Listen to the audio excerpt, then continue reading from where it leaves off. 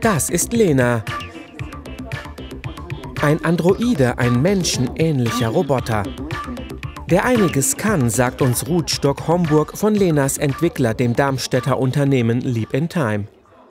Lena kann eine ganze Menge und im Moment wird sie äh, im Büro eingesetzt. Das heißt, sie kann im Grunde eine Büroassistenz unterstützen. Sie kann E-Mails schreiben, sie kann Termine vereinbaren oder koordinieren. Sie kann Protokolle schreiben, sie kann aber auch in Datenbanken nach Informationen suchen. Und was wir auch festgestellt haben, ist, dass sie ähm, sogar auch Ideen ähm, unterbreiten kann für Entscheidungen in Unternehmen.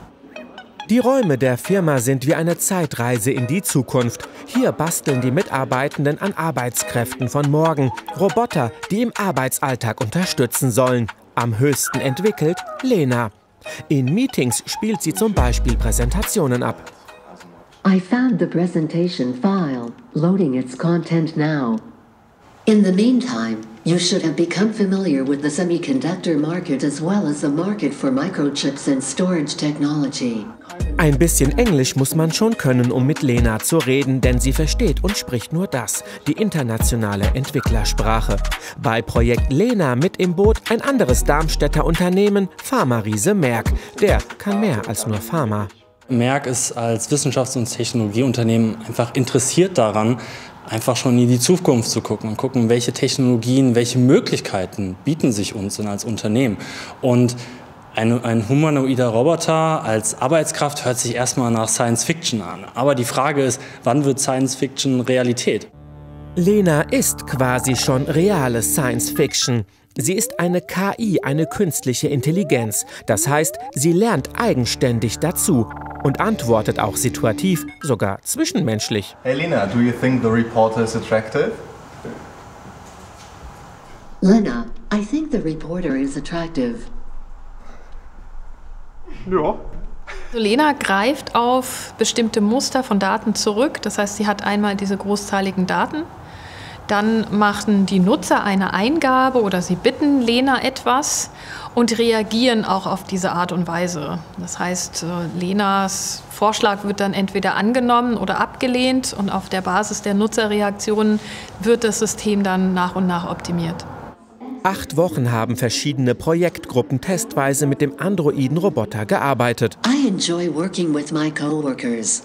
We are all different, but it makes for a great team. Projektmitarbeiter wie Julia, Jonas und Philipp, die sich gut vorstellen können, mit der künstlichen Intelligenz zusammenzuarbeiten.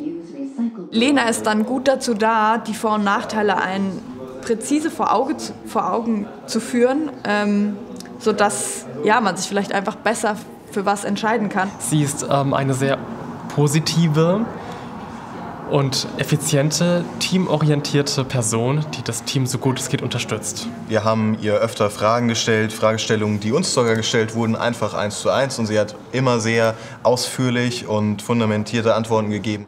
Der Roboter kann anfangs erst einmal nichts. Betriebssystem, Software, alles muss neu entwickelt und an die Wünsche des Kunden angepasst werden.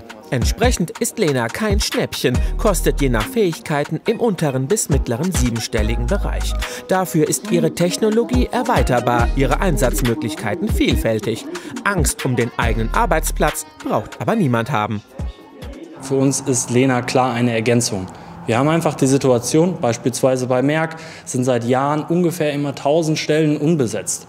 Und das sind einfach eine Kapazität, die uns fehlt. Und jetzt wäre Lena eine Möglichkeit, zusätzliche Kapazität ins Unternehmen zu bringen und einfach ein, eine zusätzliche Möglichkeit, Kapazitäten auch von anderen Mitarbeitenden frei zu machen, dass sie sich auf, auf Tätigkeiten konzentrieren können, wo menschliche Fähigkeiten noch sehr viel stärker sind, auch besser eingesetzt werden können. Denkbar ist, dass Merck Lena schon in einigen Monaten einen Arbeitsplatz anbietet. Auch wenn die Androidin erst einmal nur etwas für Unternehmen ist, ihr Einzug zu uns nach Hause ist möglich. Langfristig könnte ich mir auch denken, dass Lena im privaten Sektor eingesetzt wird. In solchen frühen Phasen der Entwicklung, ich sag mal, wir haben es ja auch mit dem Personal Computer gesehen, ist es immer erst äh, in, im Unternehmensbereich oder auch in Forschungseinrichtungen werden solche äh, Technologien eher eingesetzt. Langfristig, so perspektivisch für die nächsten 10 bis 15 Jahre, ähm, könnte ich mir das durchaus auch vorstellen. Roboter für die Arbeitswelt. Zukunft Made in Hessen, wo Science Fiction Wirklichkeit wird.